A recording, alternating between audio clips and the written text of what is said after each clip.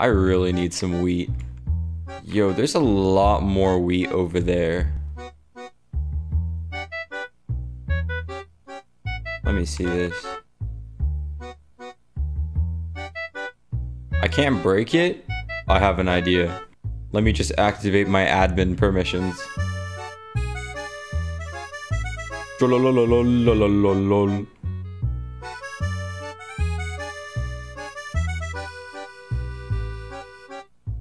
You guys want to farm carrots uncontested? Get a pig pet. It's not that hard.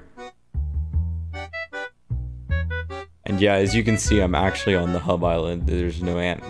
I'm on that island, but I teleported over here. Can't break anything else unless you have the pig pet.